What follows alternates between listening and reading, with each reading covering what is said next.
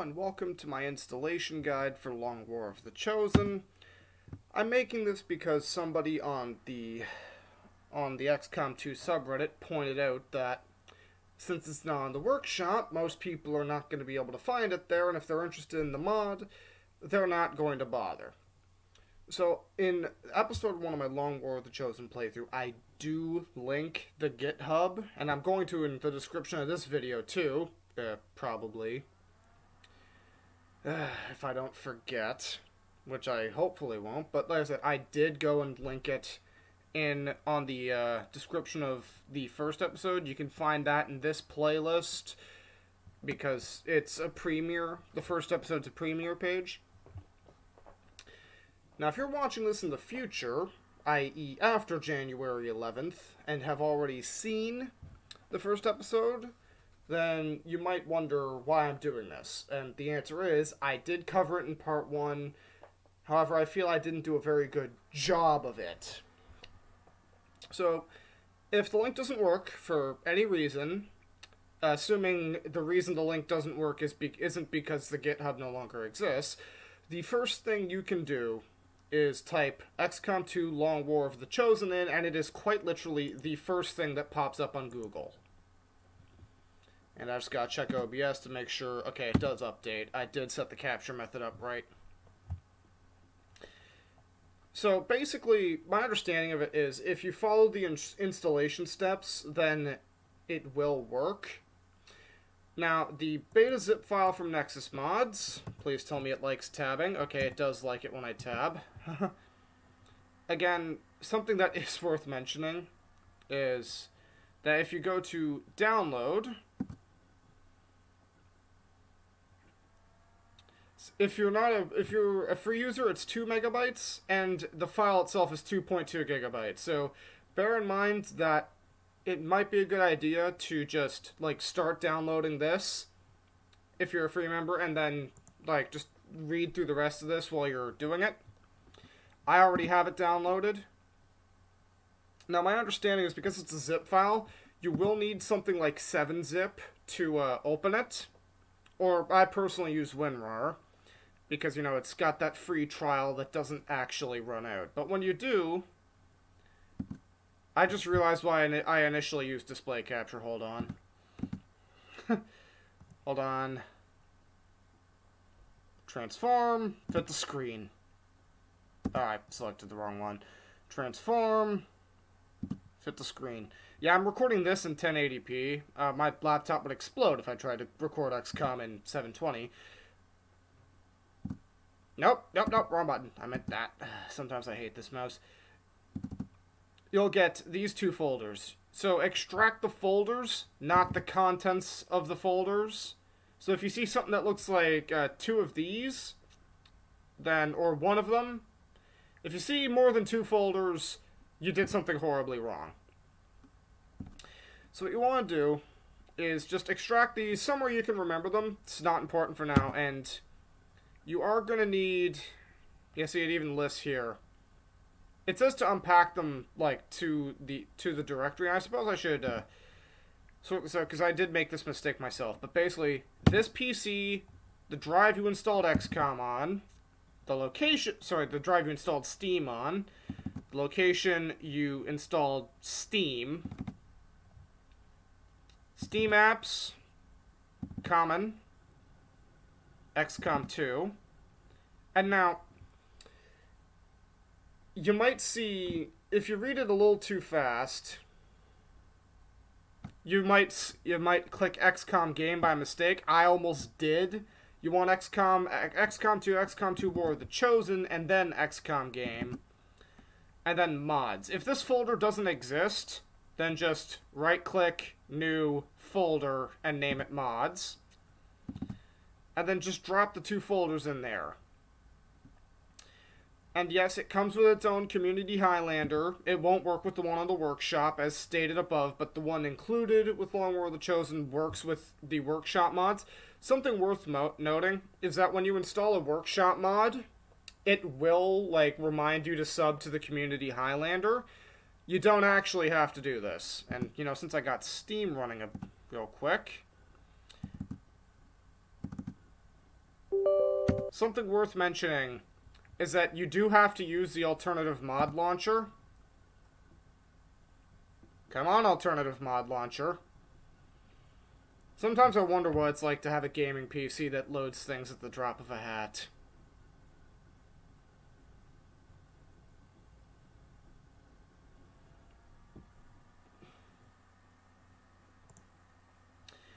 Uh, let's just go down to... I should probably add these since they're green. What's a what's one that I know requires Psyonix over? No, I want the base Psyonix overhaul V3.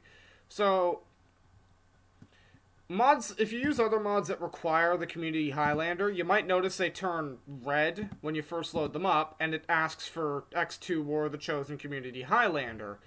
Because despite the fact that they have the same ID, it doesn't recognize the. If I just. For some reason, it doesn't recognize the ID. Like, if you look at the ID here that I got my cursor on, and the one it's asking for, they are literally the same. So I don't know why that doesn't work, but it will, like, it, it will still function. You just go over, you click on it, dependencies ignored. That's how you get other mods to work. I'll just close that. So anyways, you've downloaded and unpacked the zip file. Then you drop the folders into the correct directory, and the mods folder should look something like this. There's Linux instructions. Unfortunately, I can't model them because literally half the directories it asks for don't exist on Windows 10.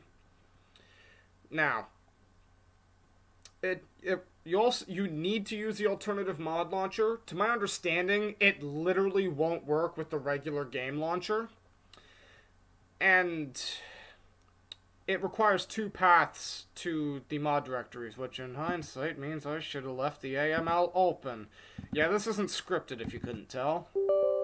Hopefully, since it was just running, maybe it's... Yeah, there we go. So what you want to do is go to Options, in the AML, Settings, now, mod paths. This top one will auto-generate. The second one, you literally, the second one here might auto-generate. I've been told it can, but it's always worth checking. Basically, what you do is you go to Add, and then you just follow the little drop-down menu. Local disk C, program files 86, Steam, Steam apps, common. Oh god, too far. XCOM 2, XCOM 2 War of the Chosen, XCOM game, mods, and then don't click on any of these, just click mods itself and then hit OK. I'm going to hit cancel because I've already done this. Other cool thing is if you've seen the startup stuff a bajillion times, in active arguments, type this in exactly as you see it. This basically means that the game should load straight to the main menu. It's just enough. It's just a nice thing to have.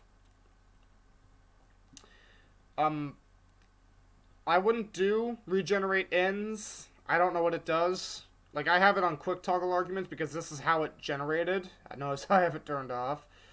Also, quick toggle arguments doesn't seem to work for me. But that could just be a me thing. Ah, 41 mods. I told that guy on subreddit I had like 30. Oh well. So anyways, you've got your AML downloaded. Something worth mentioning is you literally, the AML doesn't have to be in a specific specific folder.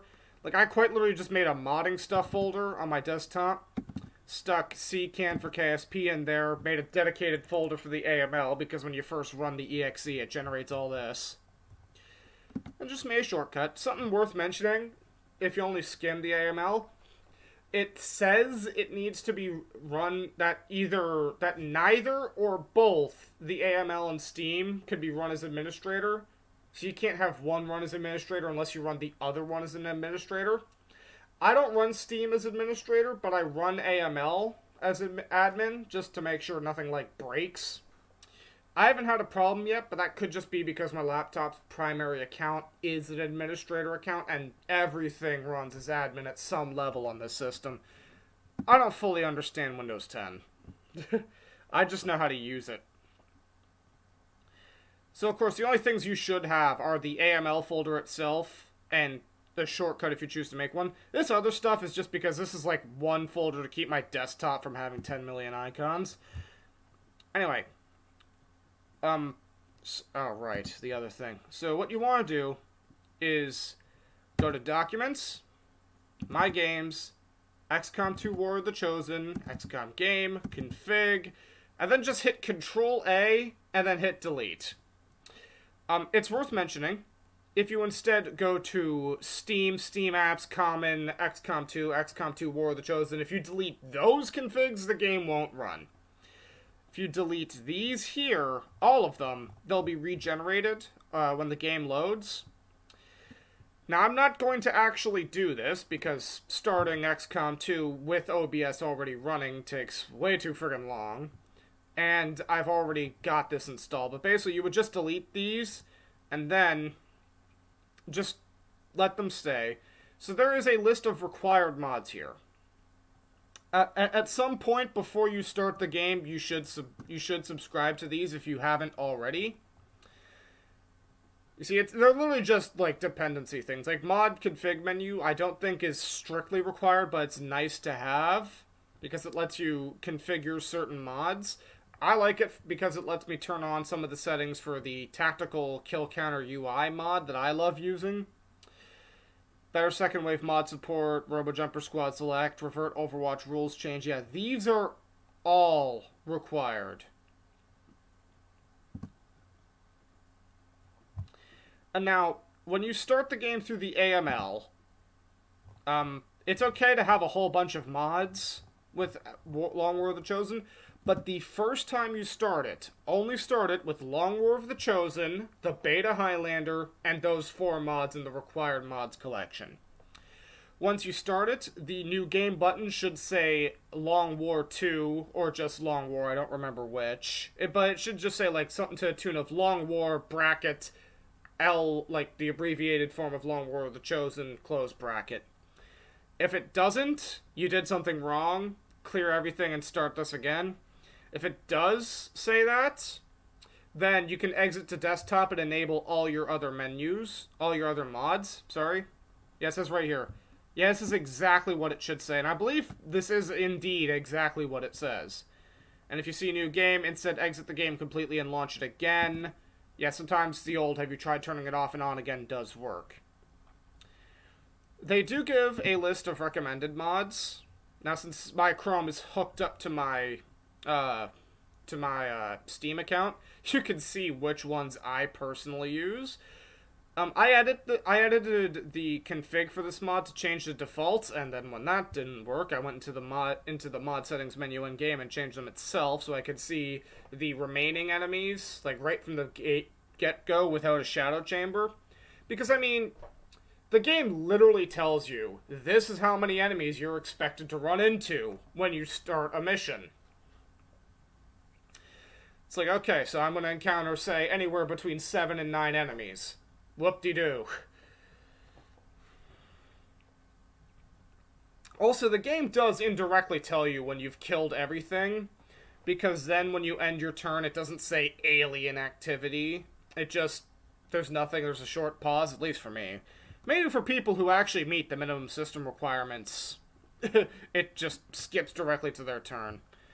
Again, what it would be like to have a to have a good gaming computer. So this is kind of important. I find it funny that it's a second wave option, although I kind of appreciate it if you ask me. Like it gives you the choice. To be fair, in the base game, uh, every chosen that wasn't the fucking assassin was kind of laughable, and the assassin gets a pass because her, you know, I'm just gonna disappear and then you can't just unload bullets into me strategy. It's like you know, can't falter combat strategy, but that doesn't mean I can't hate it. Um, what's funny is I've actually seen Chosen before Force Level 5, but, you know, this very end of April, beginning of May, typically part does seem to hold true. Then again, that's Advent Strength. I've never seen a specific Force level counter. Um, number 10 here should be, like, I believe it, this is actually impossible. Like, either the pop-up doesn't appear or it does, but the, uh, but the enable tutorial button is grayed out and you can't click on it. I've had it both ways. Um, this one should similarly be impossible for the same reasons. Um, though do note that in both cases, if for some reason you can click on these buttons, it, like I said, it will brick your campaign. Other thing to mention, um, if you play XCOM 2 on PS4, you're probably shaking your head right now at the thought that people play this game with Iron Man enabled. I lost a few rookie Iron Man runs, yes, I'm that bad, to uh, save file corruption. But this goes doubly so because not only is the game itself buggy because, you know, XCOM, but Long War of the Chosen is still in development. Also, enable autosaving, again, because you can send them to the devs, though apparently it's a complicated process I'd rather not do unless I run into something horrendous. Also, if the game crashes and you lose your save, you're set back one turn instead of one mission. If you enable these mods, you'll brick the game, apparently. I've never tried it, but they are built directly into the friggin' Long War into Long War of the Chosen. This mod, anything, and by proxy anything that has it listed as a dependency, won't work. And then they recommend these. I don't Hold on. Okay, I'm pretty sure that's listed as a requirement. and this one's listed under the Steam collection above. All of these are listed above. Also, I've seen this one a few times. Is this the mod I'm thinking of?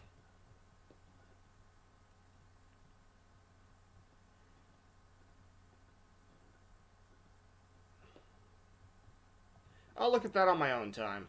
Um... Oh, that's actually good to know. Extended information. Nope. This is the one I was thinking of, wasn't it? Yep, right there. That's the one I was thinking of. Um, I'm just going to grab that real quick. Steam should start downloading that. Oh, right. Offline mode. Uh, I put my laptop to sleep, so I set it to offline mode so I wouldn't, like, break anything.